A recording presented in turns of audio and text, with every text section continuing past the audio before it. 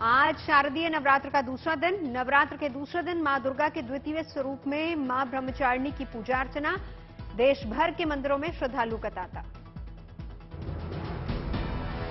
सिक्कों से सजा कोलकाता का बाबूगान दुर्गा पंडाल, आज़ादी के अमृत महोत्सव थीम पर की गई सजावट, पुराने सिक्कों का किया गया इस्तेमाल।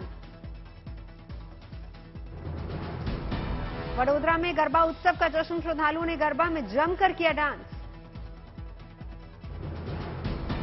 अयोध्या में भव्य रामलीला का आयोजन मंच पर किरदार निभाने पहुँचे कलाकार हुए भावुक, कहा, अयोध्या आकर धन्य हो गए। नवरात्र पर भारतीय रेलवे की तरफ़ से यात्रियों को अनूठी सौगात, कुल 400 स्टेशनों पर ई केटरिंग सुविधा के साथ उपलब्ध होगी सात्विक भोजन वाली स्पेशल व्रत थाली। न्याय व्यवस्था के इतिहास का आज ऐतिहासिक दिन। आज से सुप्रीम कोर्ट की संवैधानिक पीठ की सुनवाई की लाइव स्ट्रीमिंग शुरू। आपराधिक छवि वाले उम्मीदवारों को लेकर चुनाव आयोग का फैसला। अब अखबारों में छपवाना होगा अपने क्राइम रिकॉर्ड का लेखा जोखा।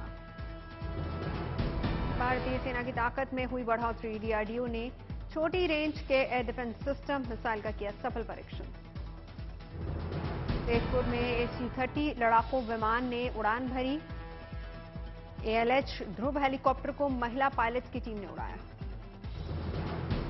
असम के गुवाहाटी में दिखा वायुसेना का अनोखा अंदाज, वायुसेना की सूर्य किरण एरोबोटिक टीम ने दिखाए हैरतंगेज करतब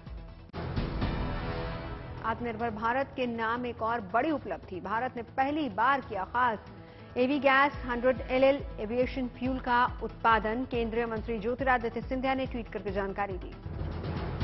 राष्ट्रीय खेलों में हिस्सा लेने वाले खिलाड़ियों को यूपी के सीएम योगी आदित्यनाथ ने मुलाकात की। कहा 20 की जगह अब 28 खेलों में यूपी की होगी प्रतिभागी। बरेली की शिक्षा के, शिक्षिका की अनोखी मुहिम। शिक्षा से वंचित बच्चों के लिए वन टीचर, वन कॉल अभियान की शुरुआत। 600 दिव्यांग बच्चों को मिला फ़ायदा। मुंबई में बैंक कर्मचारियों की अच्छी पहल। आज़ादी के अमृत महोत्सव के तहत स्वच्छता अभियान का आगाज़। जम्मू कश्मीर के कुलगाम में सुरक्षा बलों का आतंक पर प्रहार जारी।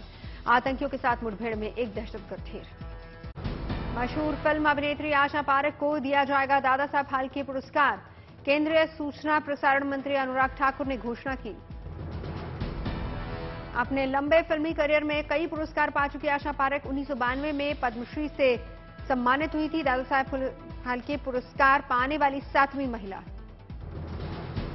तिरुमला में ब्रह्मोत्सव पर्व का आयोजन अभिनेत्री काजल अग्रवाल ने की पूजा अर्चना।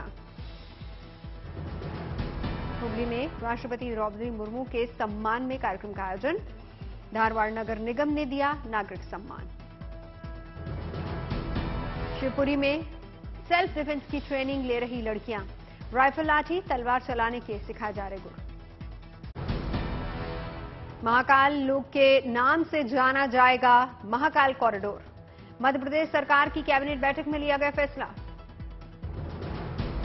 मुजफ्फरपुर के स्कूलों में चलेंगे सिर्फ़ सीएनजी और ई वाहन परिवहन विभाग ने स्कूल संचालकों को जारी किया सर्कुलर करनाल के काछवा गाँव का नेत्रहीन युवक बना सोशल मीडिया स्टार सतनाम ने अपने गाए हुए रैप सॉन्ग में मचाई धूम सोशल मीडिया पर वायरल सॉन्ग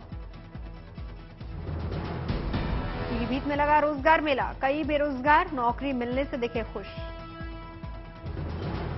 दुनिया भर में पर्यटन को बढ़ावा देने के लिए आज मनाया जा रहा विश्व पर्यटन दिवस।